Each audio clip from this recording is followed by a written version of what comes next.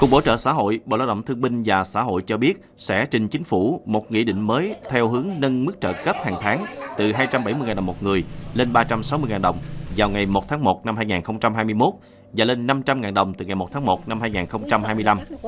Theo đại diện Cục Bảo trợ xã hội, hiện mức trợ cấp xã hội hàng tháng quá thấp, chỉ 270.000 đồng một người, nên cùng với nâng mức trợ cấp, Cục Bảo trợ xã hội cho biết cũng cần mở rộng diện trợ cấp đến một số nhóm đối tượng rất khó khăn như trẻ em mồ côi, người cao tuổi dùng dân tộc miền núi, biên giới, hải đảo, dùng sâu, dùng xa.